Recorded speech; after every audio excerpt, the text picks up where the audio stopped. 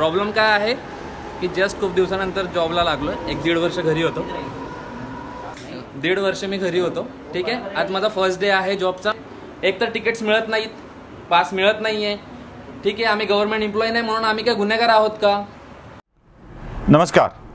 आपण काही वाक्य ऐकलीत आणि याच विषयावर आपल्याशी मी संवाद साधणार आहे. विषय तसा अराजकीय.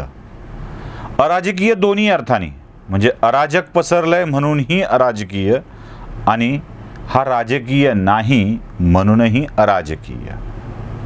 प्रश्न हा आहे की आता सामान्य माणसानी जगायचं कसं? तुम्ही म्हणाल जरा अतिरंजित होत आहे का माझं बोलणं हे? नाही अजिबात नाही. अजिबात अतिरंजित करून सांगणार नाही आहे जी काही वस्तुस्थिती आहे ती आपल्यासमोर मांडावी. खास करून महाराष्ट्राचे मुख्यमंत्री उद्धवजी ठाकरे आणि देशाचे प्रधानमंत्री नरेंद्रजी मोदी या दोघांच्या समोर हा विषय पोचवावा. एवढाच या व्हिडिओ मागचा हेतू आहे. या विषयावर आमच्या दर्शकांनीही मंथन करावं लोकांनीही विचार करावा आणि याबाबतचं आपलं म्हणणं नक्की मांडावं. विषय खूप छोटे छोटे आणि साधे साधे असतात पण त्याचा परिणाम सामान्य माणसांच्या आयुष्यावर पडत असतो. महाराष्ट्रातल्या सरकारला भाजपवाले वसुली सरकार म्हणतात. आणि केंद्रातलं सरकार तरी वेगळं काय करतंय हा प्रश्न पडल्याशिवाय राहत नाही. बघा काही साध्या साध्या घटना साधे साधे विषय मला तुमच्यासमोर मांडायचे पेट्रोल आणि डिझेलच्या वाढत्या किमती यावर सतत आपण भाष्य करत असतो. कोणी नरेंद्र मोदींना दोष देतं तर कोणी उद्धव ठाकरेंना दोष देतं. राज्यातले कर कमी करावेत म्हणजे पेट्रोलचा दर आपोआप नियंत्रणात येईल असंही बोललं जातं. कोणी केंद्रानेच दर कमी करावे असा आग्रह करतं. यावरून टीका टिप्पण्या ट्रोलिंग मीम्स बनत राहतात. पण या पेट्रोल डिझेलच्या दरावरती त्याच्या करासोबत आणखी काही सेस लावण्यात आलेले आहेत. त्या सेसबाबत काय? कधी राज्य सेस लावतं तर कधी केंद्र सेस लावतं. या सेसमधून आता डिझेल शंभरीकडं जाऊ लागलं आहे तर पेट्रोलनं शंभरी केव्हाच क्रॉस केली आहे? खिसा कापला जातोय तो सामान्य माणसांचा. इंधनावरचे कर वेगळे म्हणजे वॅट वेगळा जी एस टीच्या कक्षात अजून त्याला आणलेलं नाही आहे इंधनावरचे कर वेगळे आणि त्यावरचा सेस म्हणजे अधिभार वेगळा. इतके अधिभार झालेत ना की आता या कराच्या भारानी सामान्य माणूस वाकून जाऊ लागलाय. अक्षरशः त्याची पिळवणूक होती आहे आणि तोच शब्द वापरतो अक्षरशः त्याची लूट होती आहे. इंधन ज्याची गरज आहे तो मध्यमवर्गीयाच्या वरचा असतो हायर मिडल क्लास असतो असली सगळी शब्द वापरले जातील. पण किरायानं गाडी घेऊन जायचं ठरलं तरी सुद्धा ती आता महाग मिळू लागली आहे. मोटरसायकलवर सहज काम करायला जाणंसुद्धा कठीण होत चाललं आहे आदर्शाच्या गप्पा मारणं सोपं आहे. गाडी कमी वापरा वापरूच नका. पण सामान्य माणसांचं कंबरडं आता मोडू लागलं आहे एक तर सार्वजनिक वाहतूक व्यवस्था बंद होत चालली आहे. त्यावरती कोणीही प्रवास करायची परवानगी देत नाही. लोकलसाठी परवानगी नाही. बसची मर्यादा वाढू कमी करून ठेवली आहे प्रवासी मर्यादा. रेल्वे बंद केलेले आहेत काही चालू आहेत काही बंद आहेत. अशा स्थितीत अत्यावश्यक आणि निकडीच्या कामासाठी सामान्य माणसाला बाहेर पडण्यासाठी चारचाकी किंवा दोन चाकी हाच पर्याय उरतो. आणि त्यावर तो बाहेर पडायचं ठरवलं तर पहिला किस्सा कापला जातो त्याच्या इंधनातून. बरं एवढ्यावर काम भागतंय? अहो गाडी घेऊन बाहेर रस्त्यावर उतरलं तर आदरणीय नितीनजी गडकरी यांनी केलेले चकाचक रस्ते ज्यावर प्रवासाचा आनंद घेताना खूप मजा वाटते. गडकरीजींचं कौतुक होतं. पण त्या रस्त्यावर उतरल्याबरोबर प्रति किलोमीटर एक रुपयाचा टोल द्यावा लागतो. इथे दुसरी लूट होते. प्रत्येक रस्त्यावरती टोल शहराच्या बाहेर पडलं की टोल शहराच्या आत येताना टोल. मुंबईत जायचंय कोणत्याही दिशेनं आज जा टोल लागतोच. एक्सप्रेस वेवर टोल लागतो साध्या रस्त्यावरती टोल लागतो. म्हणजे मी नियमितचा जो प्रवास औरंगाबाद ते लातूर असा करतो या औरंगाबाद ते लातूर प्रवासात पंच्याण्णव पंच्याण्णव रुपयाचे दोन टोलनाके आहेत. आता केजजवळ एक नवा टोलनाका होऊ घातला आहे आणि अंबाजोगाई लातूर रस्त्यावर चाळीस रुपयांचा एक टोलनाका आहे. म्हणजे मला आत्ताच्या घडीला माझ्या घरी जायचं असेल तर कमीत कमी एकशे तीस रुपये जाताना आणि एकशे तीस रुपये येताना दोनशे साठ रुपये खर्च करावे लागतात. केजजवळचा टोल नाका चालू झाल्यावर अजून हा खर्च वाढणार आहे. बरं खर्च वाढणार आहे टोल रस्ते चांगले झालेत इंधन वाचतंय वेळ वाचतोय हा खर्च द्यायला हरकत नाही. असा जरी विचार आपण केला आणि ते फास्टॅगनं जरी टोल द्यायचं ठरवलं तरी या फास्टॅगला रिचार्ज करताना सुद्धा जी एस टी आकारला जातो. म्हणजे मुळात टोल हाच रस्त्यासाठीचा कर आहे आणि तो कर भरण्यासाठी आणखी एक कर भरावा लागतो. म्हणजे करावर कर चक्रवाढ व्याज करावर कर चक्रव्याढ क चक्रवाढ कर असं याला म्हणायला हरकत नाही काय किती घेणार तुम्ही? किती घेणार? जरा सांगा तरी. किती घेऊन घेऊन घेशील किती कराणे? हा प्रश्न विचारावा वाटतो की नाही? म्हणजे करावर कर आहे हो. सेस आहे अधिभार आहे कर आहे. डिझेल वाढलं आहे पेट्रोल वाढलं आहे टोलनाका वाढला आहे टोलनाक्यावरचा कर तोही वाढला आहे एवढ्यावर काम भागत नाही हो एवढ्यावर काम भागत नाही. म्हणजे मी फक्त गाडीवरच बोलतोय आत्ता एवढ्यावर काम भागत नाही. गाडी जराशी टोल नाक्याच्या पुढे गेली ना की तिथे ते पांढऱ्या कपड्यातले नॅशनल हायवेचे पोलीस थांबलेले असतात. सीट बेल्ट लावला नाही. तुम्ही फोनवर बोलत होतात. तुम्ही अजून कुठला नियम मोडलेला आहे? या सबबीखाली पाच पन्नास शंभर दोनशे रुपये त्यांच्या मर्जीला येईल तसा दंड कारवाल्यांना आकारतात खास करून ट्रकवाल्यांना आकारतात. ये तो ओव्हरलोडेड आहे. अजून कुठली कारणं आहेत? लेन कट केला आहे अशी कारणं सांगून त्यांच्याकडून शे दोनशे रुपये उकळली जातातच. आता टोल नाके हे अधिकृत वसुलीचं केंद्र बनलेले आहेत. टोल नाका आला की काळजात धस व्हायला होतं. नुसता टोल देऊन पुढे गेलो तर भागेल असं नाही आहे समोर महामार्ग विभाग महामार्ग वाहतुकीचे पोलीस थांबलेले असतात आणि ते कुठल्या ना कुठल्या कारणाने तुमच्याकडून दंड वसूल करतात. गडकरीजी रस्ते चकाचक झालेत आमचे. खूप छान झालेत खूप सुंदर झालेत. हे रस्ते करताना तुम्ही खूप छान बोलता हो खूप छान बोलता. असं मन तृप्त होतं ना ऐकताना ते. म्हणजे आता वेगवान प्रवास होणार आहे तुमचा वेळ वाचणार आहे इतका वेळ वाचणार आहे इतकं इंधन वाचणार आहे. गेअर बदलायची गरज नाही आहे. आमची गाडी जी नेहमी सत्तर ऐंशीनं जात होती ती आता नव्वद पंच्याण्णवनं जाऊ लागली. बरं गाड्याही टकाटक आल्यात. नव्वद पंच्याण्णवला गाडी गेली. नव्वदच्या पंच्याण्णवच्या दरम्यान गाडी गेली. एक्क्याण्णव ब्याण्णवला जरी असेल ना तरी ते रस्त्यावर थांबलेले दैत्य आमचा फोटो टिपतात आमचे हजार रुपये खाऊन टाकतात. एकेका प्रवासात एकेका व्यक्तीला दोन दोन तीन तीन हजाराचा दंड बसू लागलाय. किती लुटणार हो? किती लुटणार? लूट नाही तर काय आहे? महाराष्ट्रातल्या सरकारला वसुली सरकार म्हणावं तर केंद्रातलं सरकारही तसंच करताय. जी एस टीच्या नावाखाली पैसे लुटताय. आणि इकडे पोलीस आम्हाला स्पीड एक्सेसचा दंड लावून लुटत आहेत कोरोना काळ चालू आहे. या काळात लोकांची कामधामं गेलीत. हौसे खातर कोणीही फिरत नाही. तुम्हाला हवंच आहे तर जा. त्या पर्यटन स्थळावरती लोकांना दंड लावा. तिथे आल्याबद्दल दंड लावा. वसुली करा. पण हे रस्त्यावरचे दैत्य एकेका प्रवासात दोन दोन हजार रुपये दंड लावतात. स्पीड लिमिट ओलांडल्याच्या नावाखाली. आणि आमच्याकडून पैसे उकळत राहतात.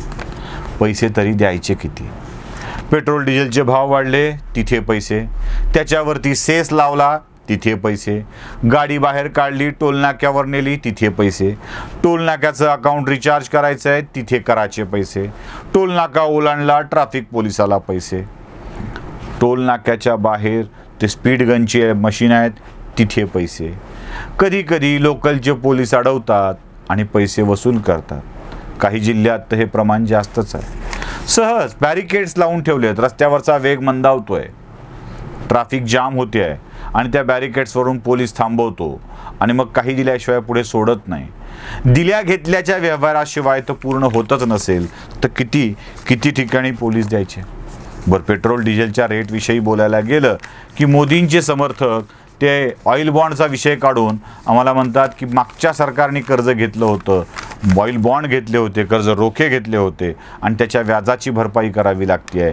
म्हणून हा कर्जाचा दर वाढ क पेट्रोलचे दर वाढलेले आहेत डिझेलचे दर वाढलेले आहेत. इकडे काँग्रेसवाले किंवा शिवसेनावाले किंवा राष्ट्रवादीवाले त्यांना शिव्या देऊन मोकळं होतात.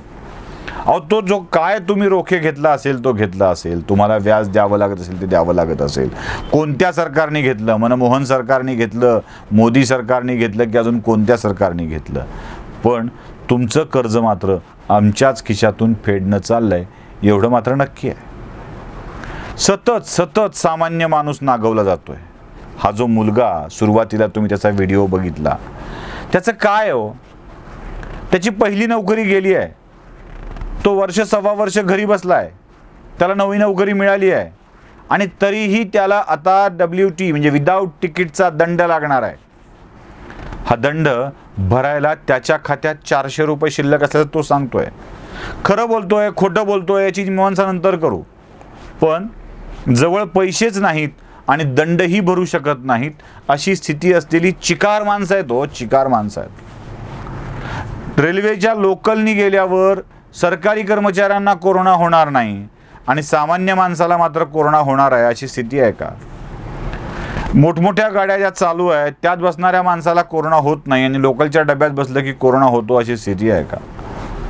एक तर त्याच्या नोकऱ्या गेल्या तर त्याची काही व्यवस्था करा. किंवा त्याला त्याच्या नोकरीवर जाऊ देण्याची व्यवस्था करा. खाजगी नोकऱ्या सहजपणे सुटतायत लोकांच्या. तो विचारतोय प्रश्न तोच प्रश्न विचारतोय. काय प्रश्न विचारतोय? ऐका एकदा. नाही सर दीड वर्ष मी घरी होतो ठीक आहे? आज माझा फर्स्ट डे आहे जॉबचा second day sorry first day नाही आहे मी टी सी ऑफिसमध्ये यांची काही चुकी नाही हे यांचं काम करतायत ठीक आहे? पण गव्हर्नमेंटला ही जाग केव्हा येणार आहे? कारण की सर्वसामान्य प- माणसं आहेत ती कमवतात स्वतः रोज कमवतात आणि रोज खातात. ती लोक काय करणार? ती लोक कुठे जाणार? आज माझ्या अकाउंटला किती पैसे ते त्यांना मी दाखवलं. कितना पैसे तुमच्या माझ्या अकाउंट पे? चारशे रुपये आहेत माझ्या अकाउंटवर मी पस्तीस हजार घेणारा मुलगा दीड वर्षापासून घरी आहे. माझ्या बॉसनी पण मला घरीच बसवलं होतं. आता मोठं मेहनतीनंतर मला जॉब लागलाय. आज दुसराच दिवस मला यांनी पकडलं. ठीक आहे. एक तर तिकीट्स मिळत नाहीत. पास मिळत नाही आहे ठीक आहे आम्ही गव्हर्नमेंट एम्प्लॉई नाही म्हणून आम्ही काय गुन्हेगार आहोत का? आम्ही सरकारी नोकर नाहीत म्हणून का गुन्हेगार आहोत का? काय करायचं हो त्याची नोकरी गेल्यावर? त्यांनी काय करायचं? घरी बसून राहायचं? बरं घरी बसून तरी कसं राहायचं? तिथेही कर आहे हो मनपा भाडं घेणार आहे घराचा कर घेणार आहे पाण्याचा कर घेणार आहे दिवाबत्तीचा कर घेणार आहे. या प्रत्येक गोष्टीचे कर भरायचे कुठून? कारण लोकांचा रोजगार आता हातचा आहे लोकांचं काम हातचं जात आहे यावरती कधीच कोणी विचार करणार नाही का? अहो तुम्ही किमान फेरीवाल्यांना पैसे दिले गरिबांना धान्य दिलं सगळ्यांना फुकट दिलं पण त्या वर्गाचं काय? जो भिकारी नाही. त्या वर्गानं काय करायचं? त्याचं काम गेलं आहे तो मागायला जाऊ शकत नाही. तो कुठे भीक मागू शकत नाही. अहो तुम्ही काही लोकांच्या कर्जाचे हप्ते थांबवले त्याच्यावरती व्याज लावलं. पण त्यांचं काय? ज्यांनी प्रामाणिकपणे आपल्या बँकेचं कर्ज कोरोनाचा काळ कधीतरी संपेल म्हणून भरलंय. एकही हप्ता थकवलेला नाही आहे असलेल्या पैशातून कर्ज फेडलंय. आता तो कफल्लक झालाय. आता कर्ज फेडायच्या काय जगण्याच्या लायकीचा राहिलेला नाही आहे ज्यानं कोरोनाच्या मागच्या मार्चपासून आताच्या जून जूनपर्यंत म्हणजे मागच्या मार्चपासून म्हणतोय मी आताच्या जूनपर्यंत या पंधरा सोळा महिन्यामध्ये कर्जाचा एकही हप्ता चुकवलेला नाही आणि त्याच्याकडं आता कर्जाचे कर्ज भरायला पैसे नाहीत कारण सततच्या लॉकडाऊनमुळं त्याला नोकरी मिळाली नाही त्याच्या हातचं काम गेलं आहे रोजगार गेलाय गाडा बंद झाला आहे काय बंद व्हायचे ते झालं आहे त्याच्याकडं आता कर्जाचे पैसे भरायला पैसे नाहीत. त्याच्या तेव्हाच्या प्रामाणिकपणाचं बक्षीस त्याला आता मिळणार आहे की नाही? की ज्यांना तुम्ही माफ केलं होतं ज्यांना तुम्ही सोडून दिलं होतं घेऊ नका असं म्हणला त्यांचं झालं कौतुक त्यांना मिळाले पैसे. पण याचं काय? त्या माणसाचं काय ज्यानं रांगेत कधीच थांबून फुकटचा तांदूळ फुकटचा गहू घेतला नाही? आणि आता त्याच्या घरी तांदूळ गहू नाहीत तो जेवू शकत नाही. त्याची मनोवृत्ती जाऊन भिकाऱ्यासारखं मागण्याची नाही आहे. त्याला याचकासारखं कुठे जावं वाटत नाही आहे. त्या माणसांसाठीची व्यवस्था आपण काय करतोय? ज्यांच्या आता नोकऱ्या गेल्या त्यांच्यासाठीची व्यवस्था आपण काय करतोय? सरकारला हे सगळंच करणं शक्य नाही आहे. याची पूर्ण कल्पना आहे.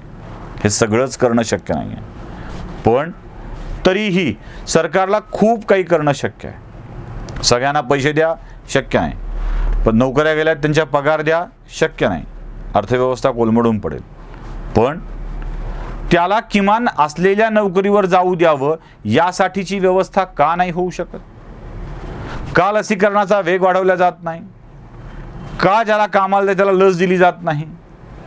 बायोबबल करून तुम्ही आय पी एलच्या सामन्यांचं आयोजन करू शकता. तसं ज्या ज्या ऑफिसेसमध्ये लोकांना कामाला जाणं भाग आहे अशा ठिकाणचं लसीकरण का होत नाही? किती किती जणांचे उद्योग संपलेत? एखाद्या गावाचा व्यवसाय पर्यटनावर अवलंबून आहे. माझे मी औरंगाबादचं उदाहरण देतो फार नको. वेरूळ अजिंठ्यासारख्या लेण्या आहेत म्हणून इथे अनेक पर्यटक येतात. इथली फाईव्ह स्टार हॉटेल साधी हॉटेल रस्त्यावरची हॉटेल जिथे चहा नाश्ता जेवण मिळतं. ती भाड्यानं गाडी देणारी माणसं पर्यटकांसाठी असणारे गाईड यांची काय अवस्था आहे? अक्षरशः मागच्या पंधरा सोळा महिन्यांपासून ना पर्यटक फिरकतोय ना कोणी येत आहे त्यांची अवस्था काय झाली असेल? त्यांच्या पोरांना खायला मिळत आहे मंदिराबाहेर फुलं बेलपत्र विकणाऱ्या माणसांची अवस्था काय झाली असेल? नाही विचार करवत नाही. आणि या सगळ्या लोकांना परत या करभाराखाली आपण वाकवून झुकवून टाकतो. खूप सोपं उत्तर आहे हो. मग उत्तर सांगा कुलकर्णी काय आहे ते? उत्तर एवढंच आहे की यांना आता काम करू द्या. कारण हे कामावर नाही गेले ना तर कोरोनानं मरतील की नाही माहीत नाही. लज्जा भय आणि मनातला संकोच हा यांचा जीव नक्कीच घेईल. कारण ज्याला आपल्या बळावर उभं राहायची सवय आहे ना त्याला लोकाच्या कृपेवर भिकेवर जगणं खूप कठीण वाटतं. आणि हे कठीण वाटणंच आता मायबाप सरकारला थांबवावं लागणार आहे. हा कोरोनाचा काळ जाऊ दे ना जरा जरा जाऊ दे. जसं तुम्ही बंगालची निवडणूक आली की पेट्रोल डिझेलचे दर कमी करता. जशी कुठली निवडणूक आली की तुम्ही पेट्रोल डिझेलचे दर कमी करताना. तसं हा कोरोनाचा काळ जाईपर्यंत काही करातून सवलत द्या. रस्त्यावरच्या गाड्या उभा करणं बंद करा. पेट्रोल डिझेलचे दर थोडेसे कमी करा. जरा रिलॅक्स मिळेल जरा आनंद वाटेल. राज्य सरकारनं त्यावरचे अधिभार कमी करावेत. केंद्र सरकारनं त्यावरचे अधिभार कमी करावेत. बाकी तुमचे सगळेच कर सगळीच माणसं नेहमीच द्यायला तयार आहेत.